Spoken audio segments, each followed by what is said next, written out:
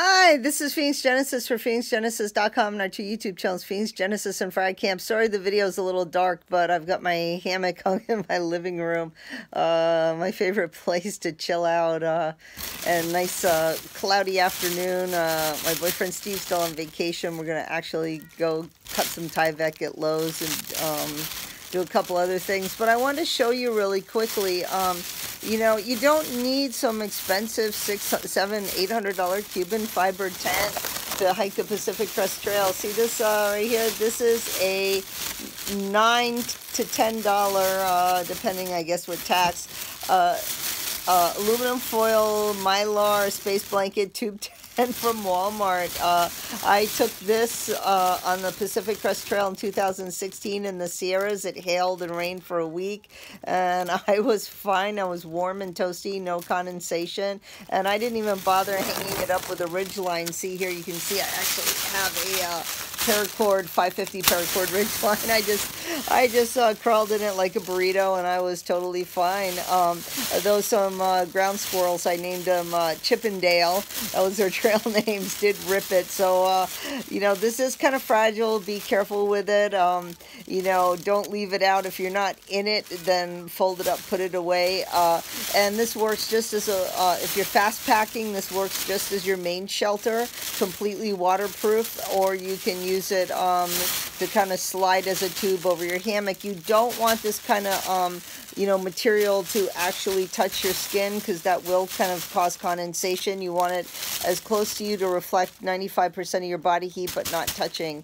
And I like it too because um, one side of it is see-through, one side, uh, two sides I think are not so I can kind of angle it if I want to see through to give me more coverage to see what's out there or I can just, uh, if I want more privacy, I can pull it down and have it completely covered so there you can't see through. Uh, then uh, I was going to say another thing um, I like hammocks, and hammocks are good even if you uh, want to go to ground because uh, I have these uh, sub six, which I really don't like. It's five ounces. That's the advantage. But an ultralight isn't always uh, very good because the fact that my feet kept falling out of it, my feet were cold. And if you see here, the uh, 8.5 ounce uh, super sub gives me uh, that little bit of extra coverage as a windbreak and I can flip this over and make this a double layered tent now with this material and with this I've got my waterproofing and I've got my uh, ooh there's a cat a couple of cats running around there uh, my cat and this is windbreaking which is really nice and then last but not least Oh, and this is going to run you. This is a bit pricey for this hammock. Uh, this is an Eno, uh, and it's made out of parachute material. I took this on the Northern California part of the Pacific Crest Trail. Love this hammock. This is going to run you about uh, $90, so it is a little pricey, but well worth the investment. Um, and of course, this will rip too if you're not really careful with it. So be careful. Um, now I have two different um, you know throws. I have a uh, I have an underquilt made by Western uh, Mountaineering, and that's a $285 quilt. Not everyone can afford that. I used as an over and an under quilt. It's spectacular. Uh, it's super, super warm.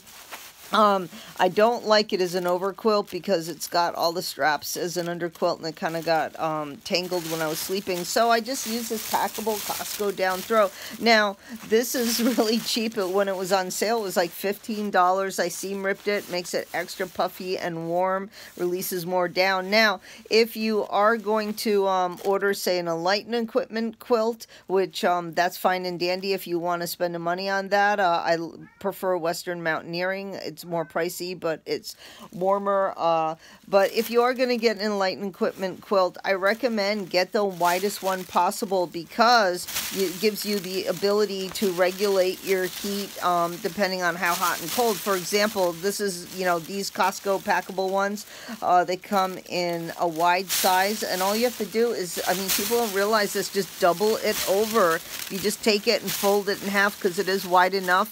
Um, now you've got, now you've got a, you take your 32 degree quilt, see here, just um, keeping it in its normal fluff, that's, that takes me down to about 30, 32 degrees. When I fold this over, now I've got a 20 degree quilt and it's still keeping me, there's enough coverage that uh, it's not, there's no draft down here. I'm completely covered. So now I've got um, twice the loft and twice the temperature to keep me warm. Uh, last but not least, another little trick is get a six ounce ounce cotton shemagh. They wear these in the military.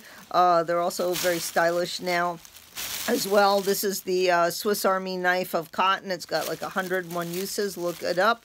But um, not only does it make a great little pillow in your hammock or under your legs to um, so you don't get any calf ridge on your knees, but also if you fold this out, it's 42 by 42 inches, and it makes a nice blanket to go over the quilt, so that traps in um, more of the heat and protects you from the uh, wind in your hammock. So if you've got if you've got the shemagh covering you, and then you pulled um, this over you, and then you've got this. I mean, you're super toasty. I mean, you're going to be dry and warm and bug, also bug free. You don't need like mosquito netting. I do have that three ounce mosquito suit I carry. You can see that in the description. If um, But if with all this covering, if I have a bug net, I'm fine. Um, and I have a shemagh. I don't need mosquito netting. And a lot of the mosquito netting they make for tents and hammocks, you're looking at 8 to 10 to 12 to 16 pounds. I mean, that's a lot of extra weight to carry, and it only has one use where the shemagh can be mosquito protection, and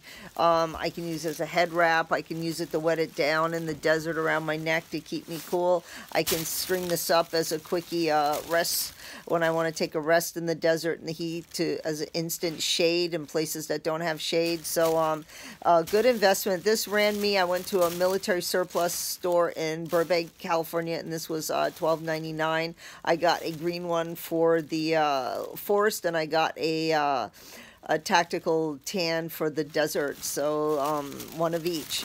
So anyway, that's it. Uh, hope that gives you some ideas about thinking about how to stay warm.